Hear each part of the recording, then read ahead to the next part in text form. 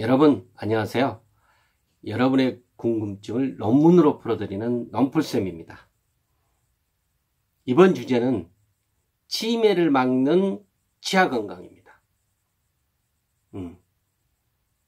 치아 건강을 지키면 치매를 예방할 수 있다. 이런 주제로 오늘은 살펴보도록 하죠. 같이 살펴봅시다. 치매를 막는 치아 건강. 연구 결과를 보시면 2008년도에 와스라는 사람들에 의해서 와스라는 학자하고 또 그 동료들에 의해서 발표된 논문인데 이걸 종합해 봤더니 치주염 아시죠? 치주염 음, 잇몸의 염증이 점신 이 잇몸의 염증이 생기면 전신의 염증 반응이 생기고 이것이 바로 인지장애와 알츠하이머 발병 위험성을 증가시키더라 하는 것을 찾아냈습니다. 다시 말씀드리면 잇몸의 염증이 알츠하이머 발병 위험성을 증가시키더라는 거죠. 이어서 일본인 학자 오카모토가 2010년에 발표한 논문에 의하면 음, 이 상실치, 즉 이가 소실된 거, 이가 빠져버린 거, 이 상실치가 많고 이 상실 이가 없는 기간이 길수록 인지장애가 심화됐다. 인지장애라는 거는 뭐 다시잖아요.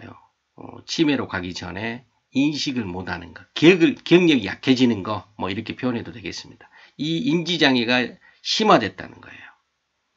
이 외에도 자 렉선번이라는 학자와 그 동료들에 의해서 2012년도에는 저작장애, 저작장애라는 것은 씹는 거 있죠? 음식을 씹는 거. 이게 장애가 오는 거하고, 이거하고 저작장애, 잘 씹지 못하는 거하고, 인지장애하고 이렇게 연관성을 봤더니 분명하게 연관성이 있더라는 거예요. 다시 말씀드리면, 잘 씹지 못하면 인지장애가 있는 경우가 많았다는 거죠. 음. 애들 어르신들이 어때서 꼭꼭 씹어 먹어라. 뭐, 어? 음, 음식을 먹을 때 꼭 뭐 몇 번 이상 먹어라, 씹어라. 이게 음, 상당히 과학적이라는 것을 알 수가 있지요. 음. 그 다음 김 등과 그 동료들은 2007년에 의치가 없는 사람은요 치매 진행이 빠르다는 것을 찾아냈어요. 의치. 이가 빠지면 의치를 해야 되는데 노인 노인분들이 이 의치가 없는 경우는 치매 진행이 굉장히 빨랐다 이겁니다. 음. 그렇습니다. 지금 뭐 이 외에도 관련 논문들이 굉장히 많았어요. 어.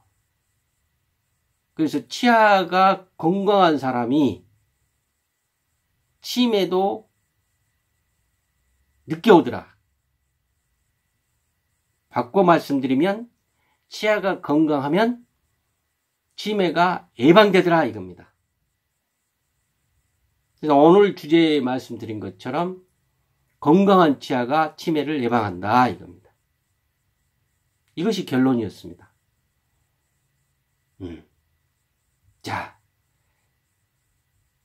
젊은이도 그렇고 중년 여러분도 그렇고 모두 다 치아 건강을 유지하는데 노력을 하면 치매를 예방할 수 있다.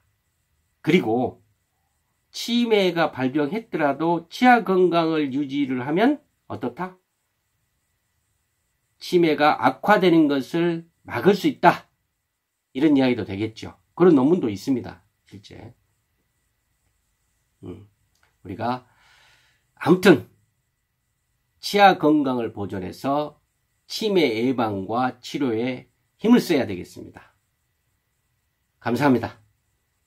저는 여러분의 궁금증을 논문으로 풀어드리는 논풀쌤입니다.